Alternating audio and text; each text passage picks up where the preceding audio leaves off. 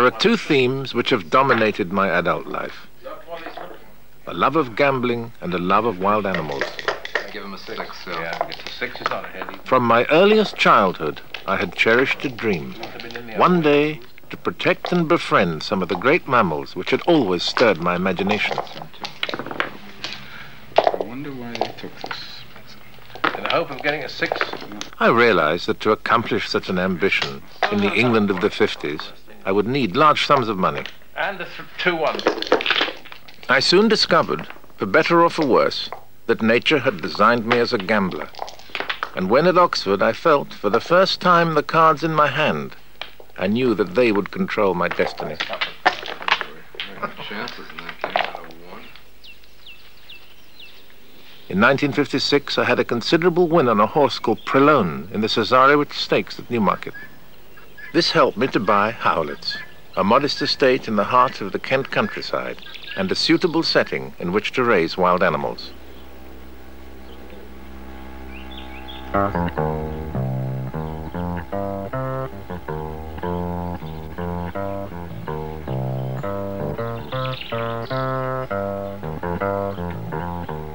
A constant supply of gambler's gold made it possible for me to sustain self-perpetuating breeding colonies of wild animals at Howletts, the numbers of which grew by birth and acquisition as the years went by.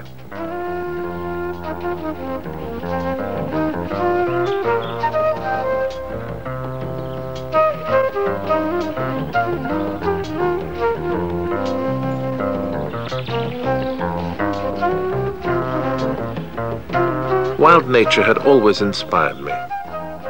The great mammals and their kindred fired my imagination. I was reluctant to accept the teachings of our own culture, which has encouraged us to despise the masterpieces of nature and to reserve our admiration for ourselves and for our own artifacts.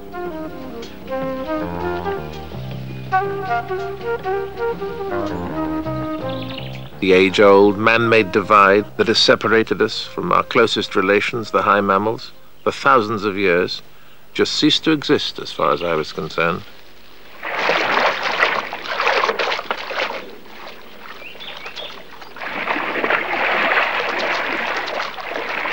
I found wild animals to be trustworthy, emotionally predictable, and above all, affectionate.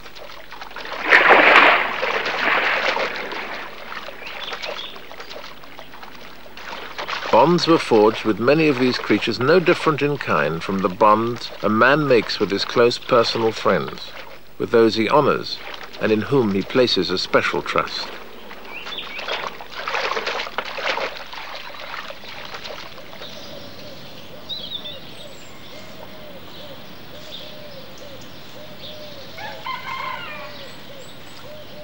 The observations of modern ethologists confirm the structured and orderly nature of mammal societies.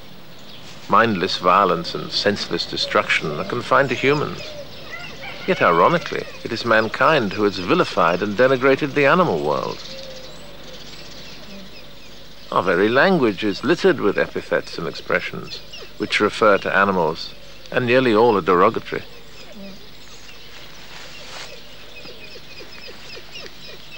The real likelihood of the legend of Little Red Riding Hood is that the grandmother ate the wolf and used its skin as a bed rug.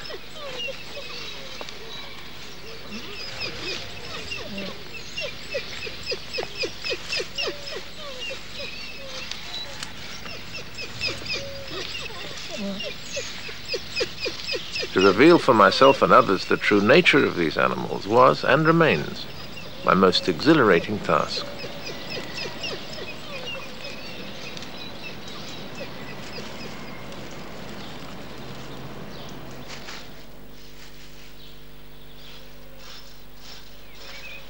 As the numbers of animals at Howletts increased, a small nucleus of keepers was formed.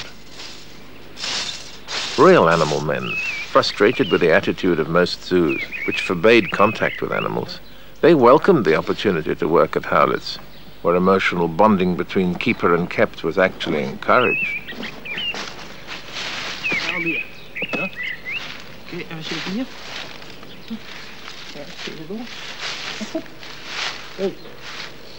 Hmm? Their daily work routine became unique by outside standards. Man and wild beast lived in a strange, almost Kipling-esque harmony in the English countryside. No.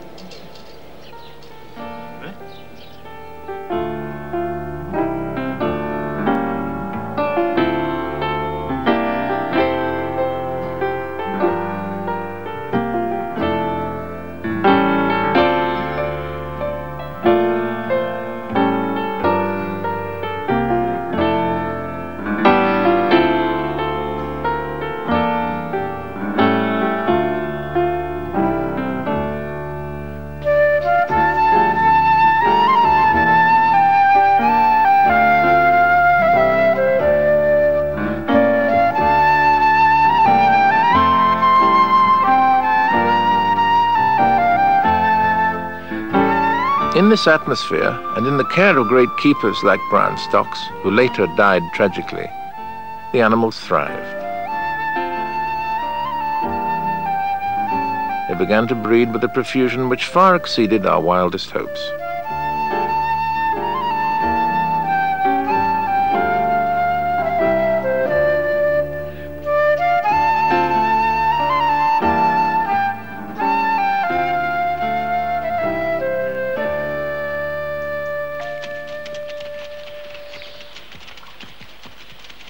From the smallest beginnings, Howletts developed into one of the largest collections in the world.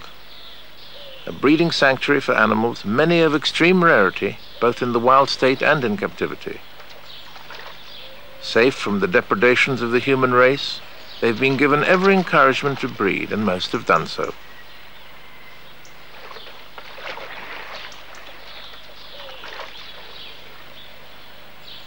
Plight of these creatures in the wild is so serious that zoos now have a grave responsibility.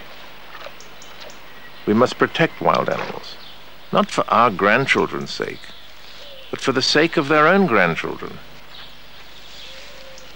No longer can zoos serve just to satisfy our curiosity. It is incumbent on them to allow their animals to breed, as for many species, it is the only hope of their survival.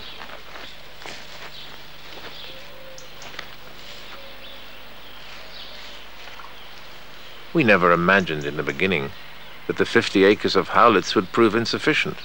But as the years passed and the animals increased in numbers, it soon became apparent that more land would be needed. In 1973, I bought an estate nearby, Port Lympne, with its historic mansion and, more important, 300 acres of south-facing pasture for the herd animals. Together, Howletts and Port Lympne now shelter more than 80 species and a total of over 500 animals.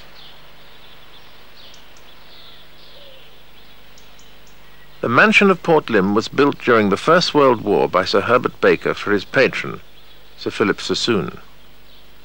Sir Philip was the sitting member of Parliament for Folkestone and Hythe. When Private Secretary to Lloyd George, he arranged for the Treaty of Paris to be signed in the library, which he had specially built for the occasion. Port Lympne was a light-hearted plaisance, where Sir Philip entertained his friends during August only. Between the wars, most of the political eminenti of that epoch spent part of August at Port Lympne.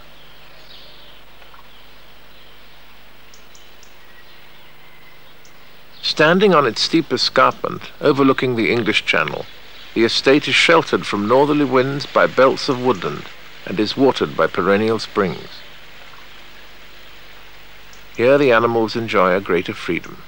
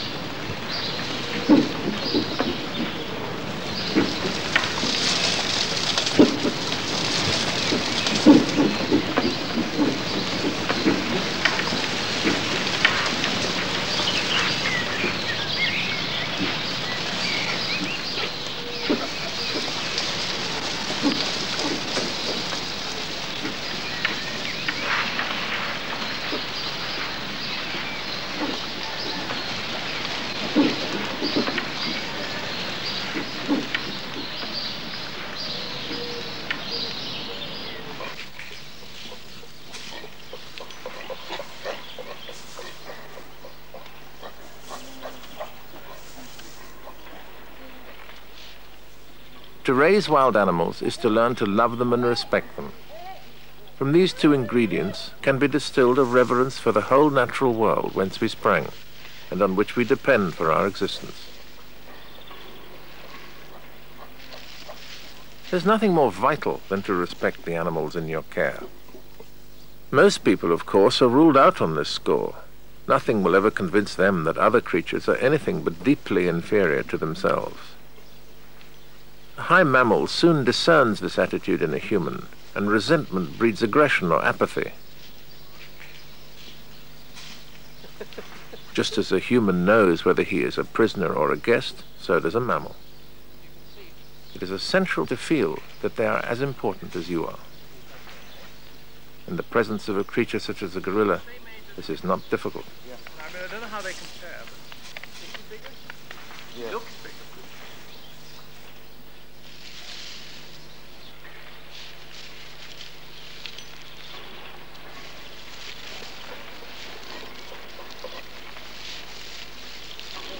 we have to remember that the gorilla was just as dominant in his natural habitat as was early man.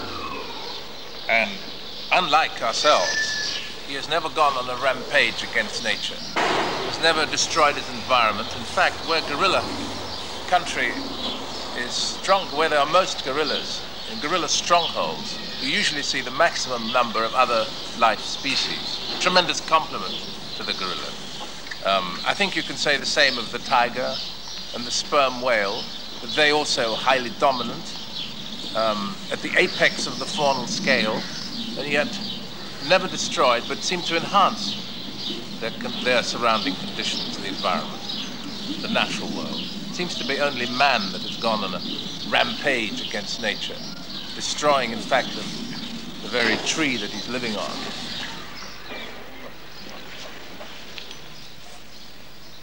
The great overlords of nature seldom veered from the wide roles that they enjoyed. It is a strange irony that these evolutionary masterpieces can no longer protect themselves, that their destiny lies in our hands. In our capacity to extend to them our love and understanding is their future measured. That this should be so is an evolutionary miscarriage, but that it is so is inescapable.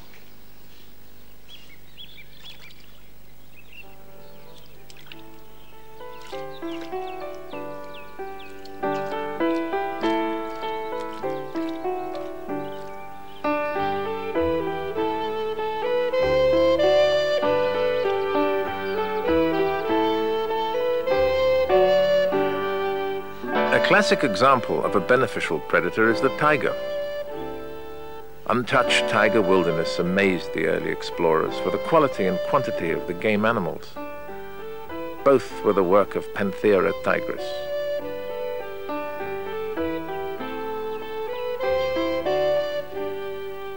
Undisputed master of his range, he acted as a responsible overlord at the apex of the faunal scale, benefiting the animals he preyed upon and restraining rather than exploiting his awesome powers.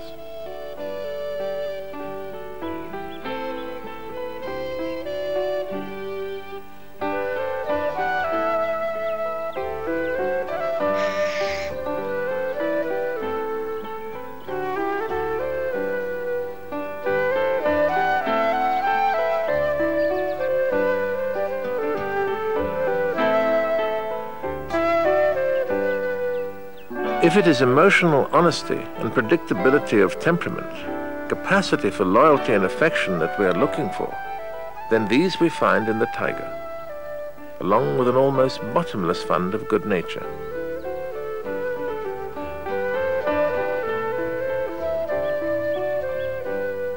In our experience, which covers a quarter of a century, about one tiger in 12 proves unreliable or untrustworthy a far lower proportion than in man.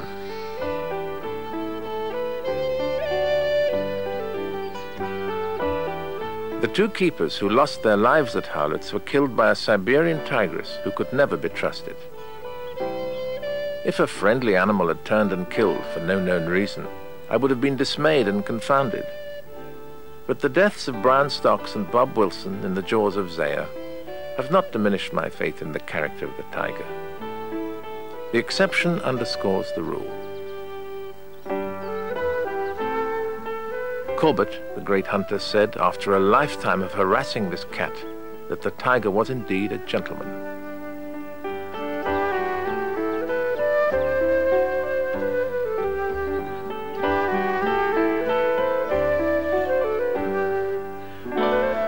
That such a creature should pass from the face of the earth at our doing or lack of doing is almost unthinkable. And yet, exactly that will come about, possibly within this century, unless enough of his friends and admirers come to his aid now before it is too late.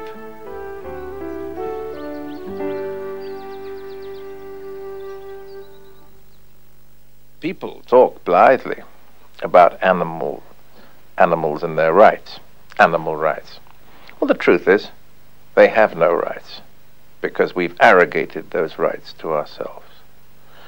Might is a right, and the human being is mighty, and he has taken to himself and upon himself all the rights that exist, or as many as he can get hold of. So he will then dispense rights to species from his own. And so uh, it's not that I'm saying they shouldn't have rights, but they really have none. And it's it's childish to say animal rights. They've got they've got their rights. The only rights they now have, so it seems, is what we're prepared to extend to them.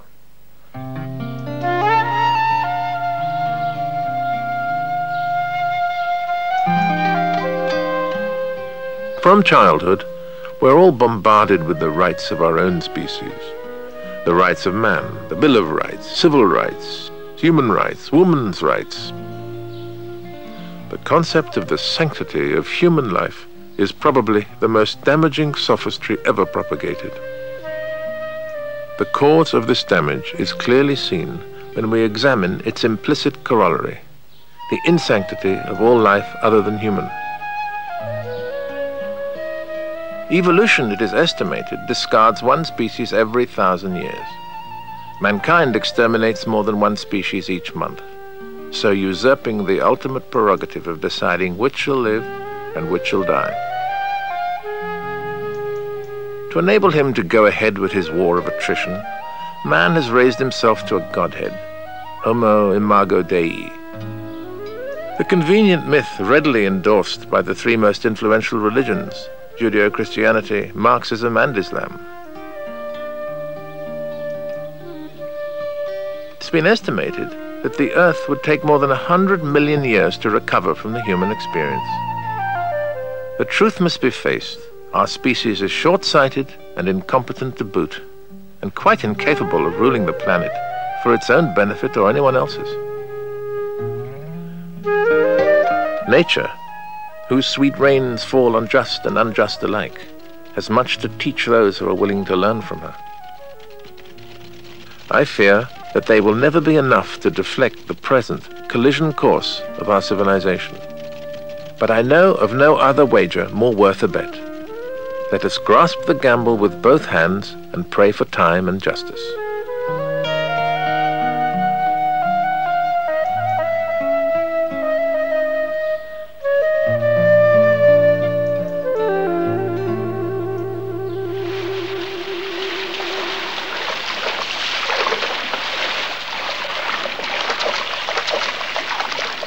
Few animals in captivity present as many problems as the elephant. His vast bulk must be fed. His awesome power must find expression.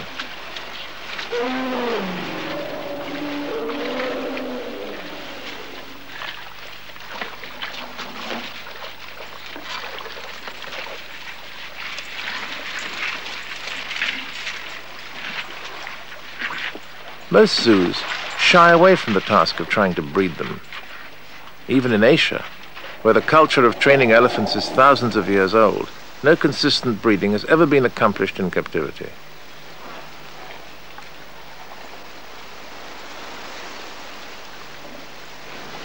They do not reproduce until the age of 14 and will only respond to a keeper they have known all their life. This is particularly true of adult bulls, whose intractability is proverbial. Despite these obvious difficulties, we have an Indian group at Port Lympne and an African herd at Howletts which have been with us since the age of two or three and have now reached breeding age.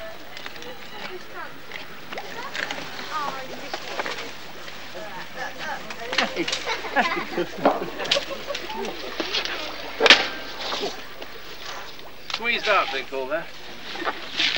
Squeezed out.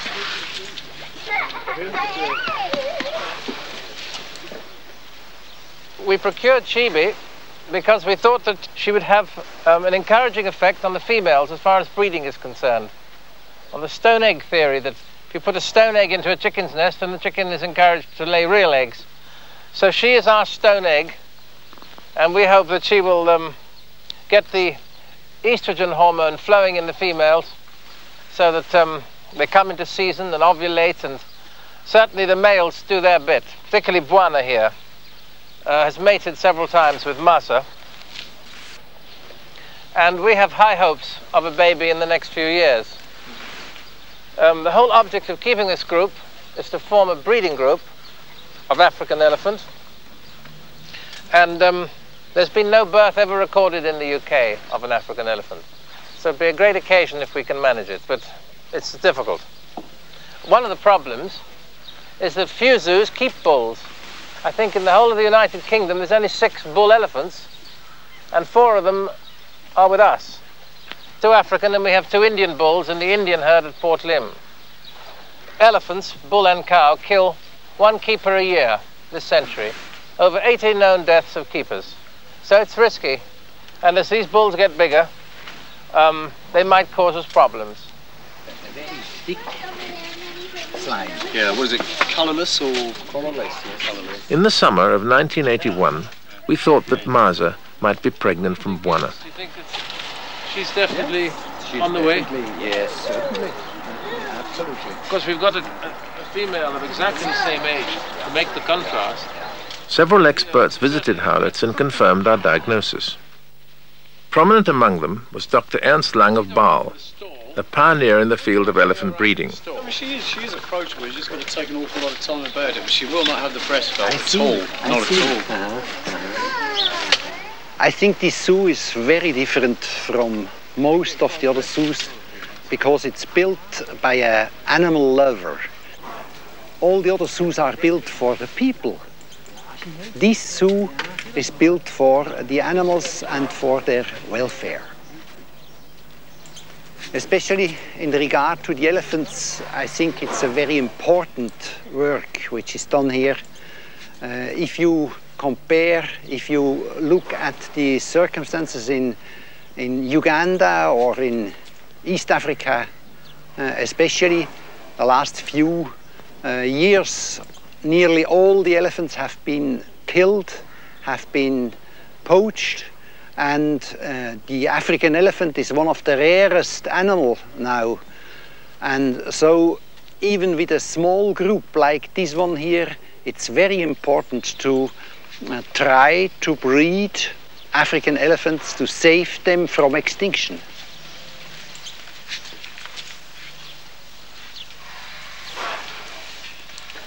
On the morning of the 25th of May, 1982, after what to us had seemed an eternity, Maza produced Sabi, the first African elephant ever to have been born in Britain.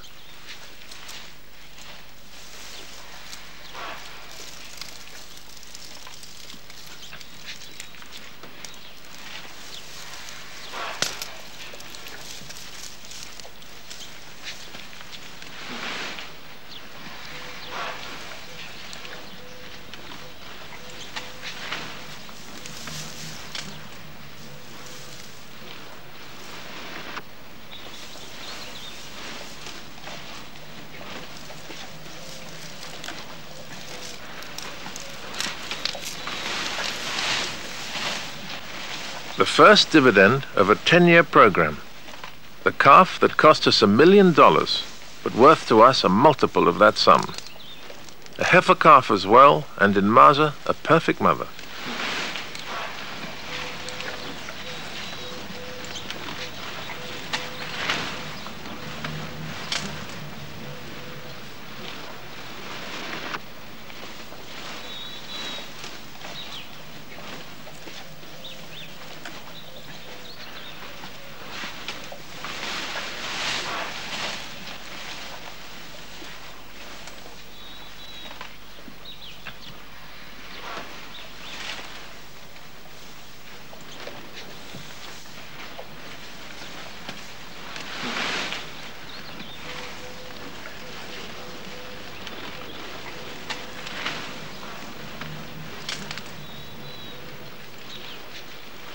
Was indeed full. The birth of Sabi was the most joyous event since the birth of Basha, our first black rhinoceros calf, and comparable in our own estimation of importance with the birth of Kijo, our first gorilla, in 1975.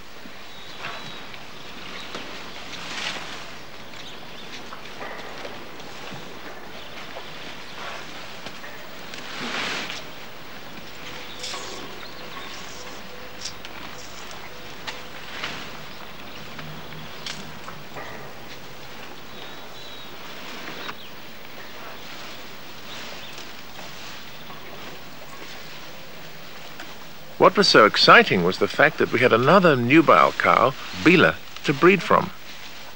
Bila had been mated with Toto and Bwana, Sabi's father, so we feel another elephant birth is on the cards in the near future.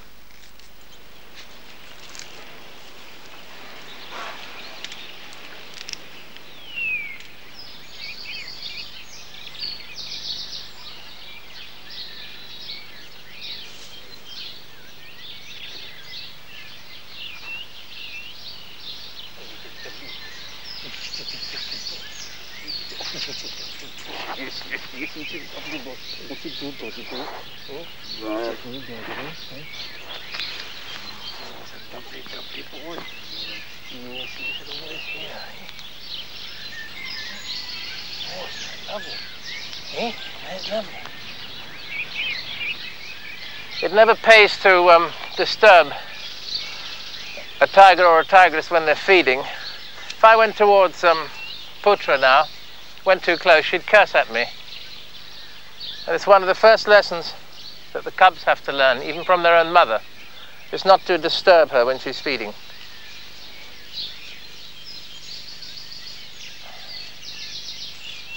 The tiger spends about 17 hours a day resting or sleeping.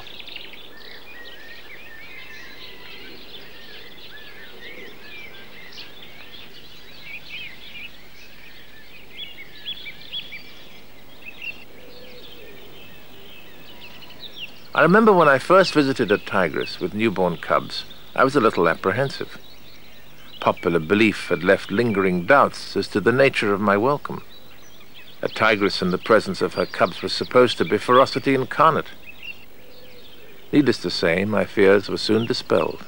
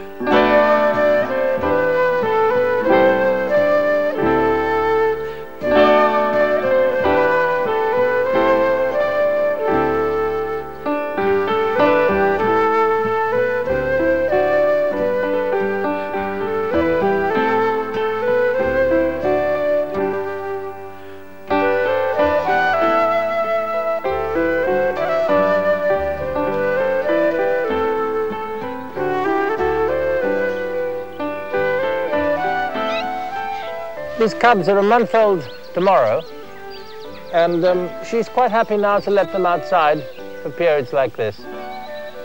She brings them out herself sometimes, and um, at the moment I'm acting as babysitter for her. She's over there, 30, 40 feet away, leaving it all to me. Probably get some um, relief. It's the fifth litter that uh, this mother has had. And she's never lost a cub, so she's a model mother, really. There's one male in this group, and he's much bigger than the others. It's a real handful. Here he is. Even at this age, we can, we can tell whether they're likely to be reliable or not. About 10 out of 11 of these cubs make steady tigers. Here comes mother. She probably heard that squawk.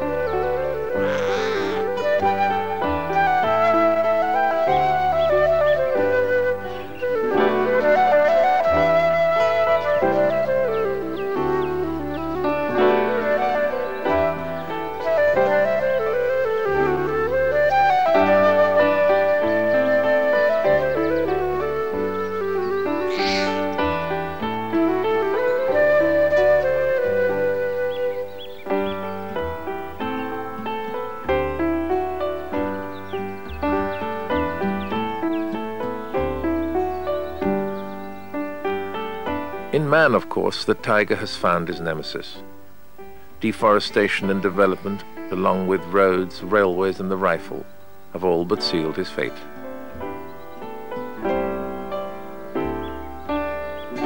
The tiger has one last card to play before he disappears forever. He has in him the capacity to arouse in us admiration and affection. Were his nature and qualities known to enough of us, his future would be assured.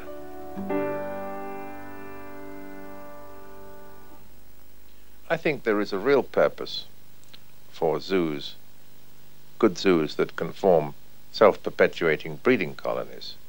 Very much so today because a zoo, such a zoo that can form a colony of tigers or gorillas or any other species that's threatened, um, serves as a holdback area in a very difficult time for these animals. So that in the next 10, 20, 30, 40, or 100 years, animals can be taken from the zoos and put back into the wild, into, into, into the wild where they came from.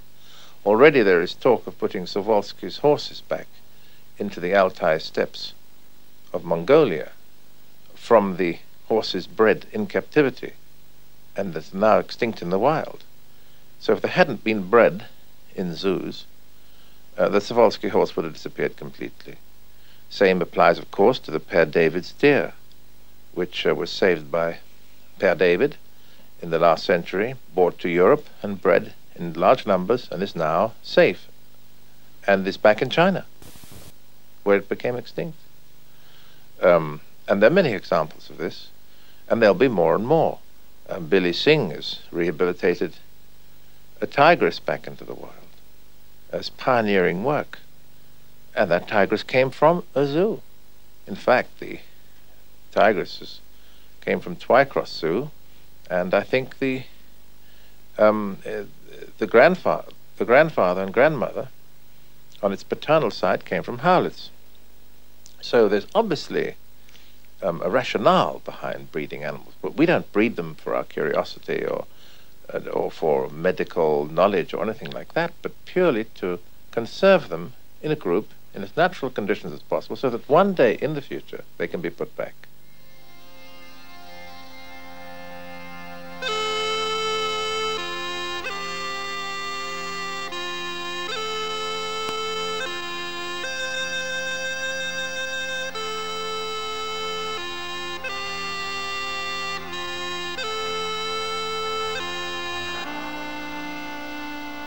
The Przewalski or Mongolian horse is the only breed of wild horse left in the world and is probably extinct in the wild state. They cannot be broken and are famed for the hardness of their hooves and their stamina. The herd stallion is incredibly brave. If the herd is pursued by hunters, he brings up the rear, driving his mares and foals away to safety before him. In extremis, he will turn and charge his tormentors knowing full well that his life will be forfeit. He drives away his offspring when only a year or two old, as he knows that the herd size must be kept down if the group is to survive the harsh conditions on the Altai plains during the Mongolian winter.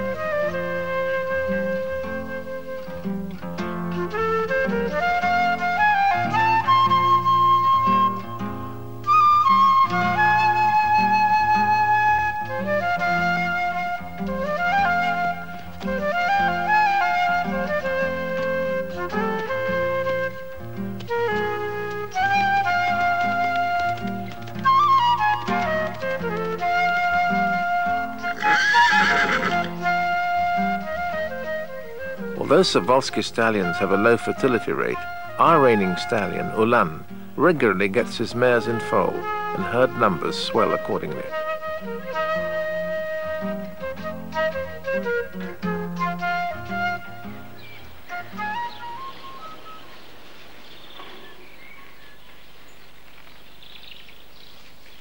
Only in San Diego Zoo before the war and in Basle in the 60s has it been possible to put two adult male gorillas together. So the sight of Mumba and Djoum in the big enclosure at Howletts is an unusual one.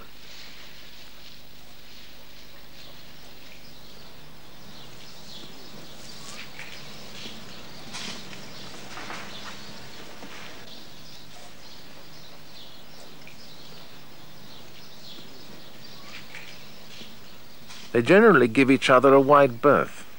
But even on the rare occasions that they do come to blows, the bonds of friendship are strong enough to ensure that they come to no harm.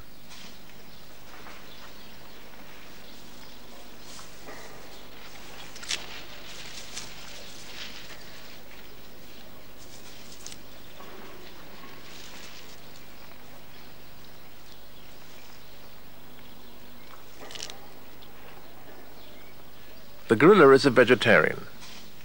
In the rainforest, he's known to eat more than 200 sorts of food. At Howletts, we supply them with about 120 varieties, many of them seasonal.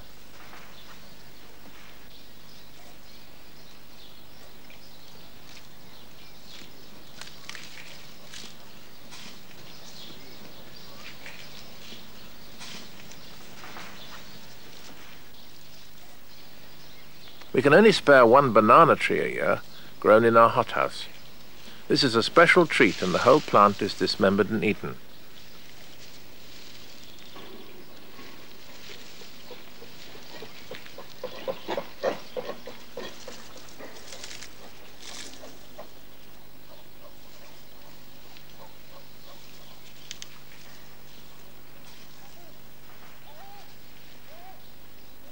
The gorilla is a true gourmet, an adept at judging the quality of his fare.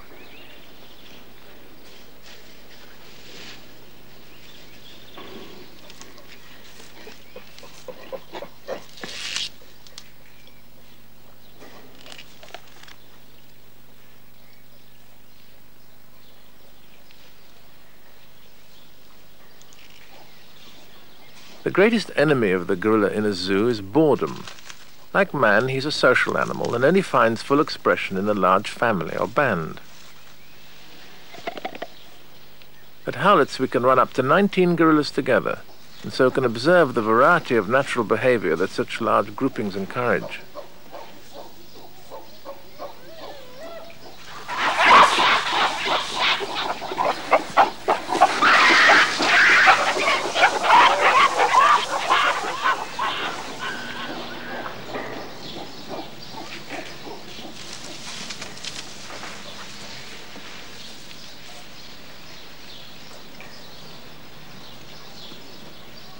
My knowledge, Djoum is the only adult male gorilla in captivity that tolerates and even enjoys human company.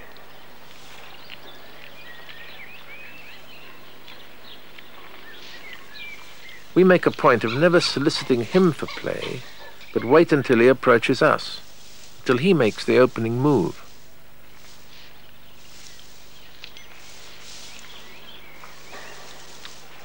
Any other course might invite his displeasure. Successful mood interpretation is vital when one enters the enclosure of a powerful mammal. On occasions, one's life may well depend on it.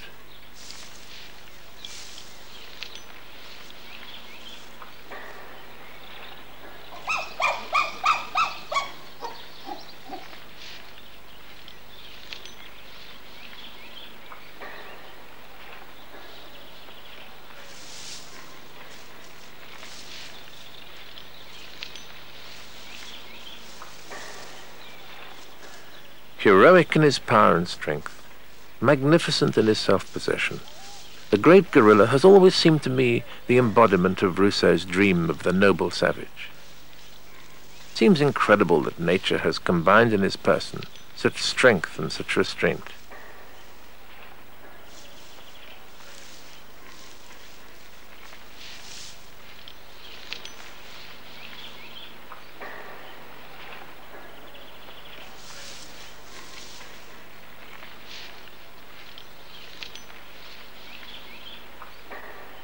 In times when male dominance and paternalism are unfashionable concepts, it is revealing to look at the great male silverback gorilla, overlord and patriarch of his family and master of his clan. Benign, tolerant, good-natured he may be, but these qualities are merely an expression of the confidence he has in his own power. Beneath the awning of his cyclopean strength, and within the confines of his wisdom and experience, the whole bevy of wives and dependents find refuge. The place of safety is that nearest to him. Beneath his ever-watching eyes, inside his brow-ridged gaze, the family can play in safety, forage and carouse.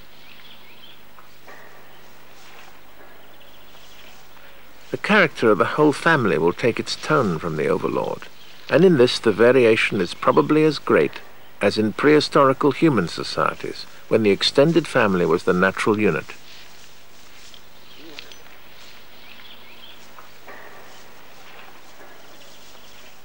That we have much to learn from the great gorilla is as obvious as the fact that we're unable to do so. Inside that tragic irony, perhaps, can our future and theirs be measured.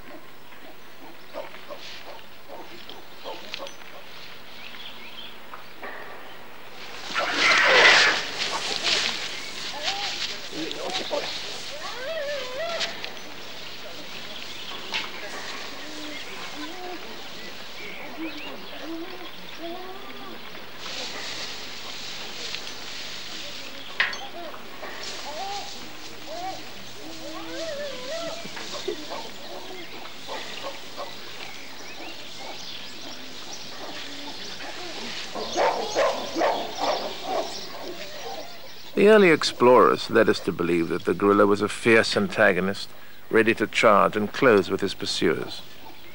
Today, the conventional wisdom is that the gorilla is a shy, retiring, meek giant. The huge physique of the male must have been, over the millennia, an adaptive response for the procurement and retention of wives on the one hand, and equally important, to the defense of the band against the human hunting tribes on the other. I have little doubt that the gorilla, if pursued, would turn on his assailants. With the advent of firearms, however, he must have learned to make off silently and not to expose himself to a volley of bullets.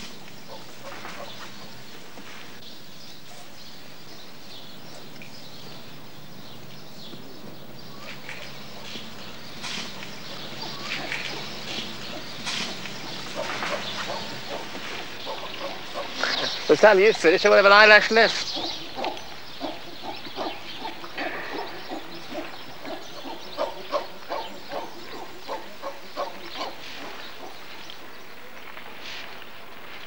He's trying to pick some eyelashes out of me. He loves my eyelashes. This isn't a token of affection at the moment. It's just acquisition. He wants to eat my eyelashes. And I can't really spare too many. He's had a couple. I'm sure you're looking at the only male gorilla, adult male gorilla in the world, whom anyone would allow to pick their eyelashes like this, but he's a very reliable. He's a very good boy. He's the largest male we have. He's the father of that baby up on the top of that nest there with the mother. And also he's got another female pregnant here, Mushy, who's over there. So he's a breeding male, and he's um, knocking at the door at 400 pounds now. He is um, unimaginably strong. Um, And even when he's being at his gentlest, like now, um, you still feel the incredible force of his strength.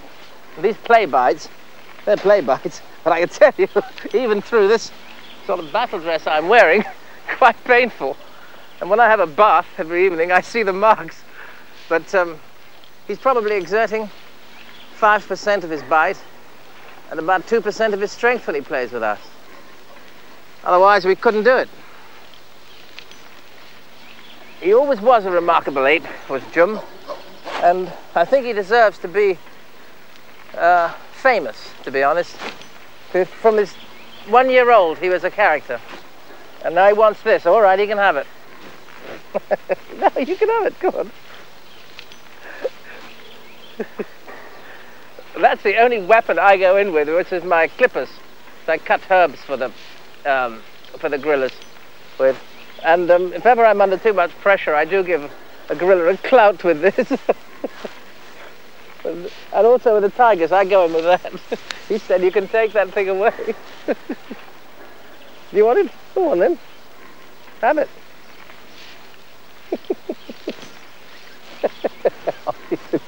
no one this.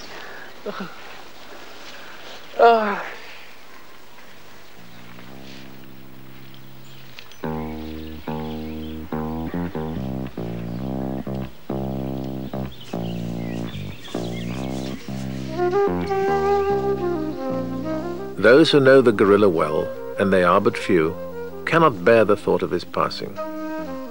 Have we no place to offer man's elder brother, as Darwin described him? Have we nothing to learn from his example, from his wisdom? Has all sense of awe and wonder deserted us? Have we become such strangers to justice that we can deny him his rights and refuse to render back to him at least a portion of what was once his own? Is he not symbolic to us of the majesty and dignity of the natural world? Proof indeed of our own identity as a species? Companion of our past, shared together in the African rainforest? And most important of all, we hope, talisman of our future.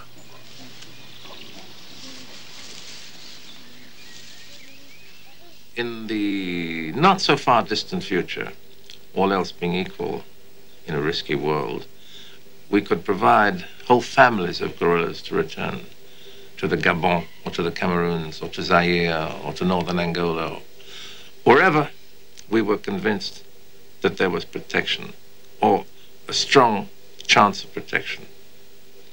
Um, but these really are dreams. The general trend is against all this. The pressure on the wild creatures is so great that anything we do in captivity, in terms of breeding them, must be a step in the right direction, possibly the only direction for them, for many species. So I'm a great pessimist because I have to be a realist. And though, fortunately, I'm endowed with a romantic ability to dream, which keeps me going, and a sense of destiny, which I have, always have had, that it was my role, once I had amassed a little money, to try and protect my friends, the great mammals. Even so, um, I recognize um, reality fights with romantic sentiment, always a struggle in me. And um, it's exactly in that struggle that my contribution, if any, will be measured.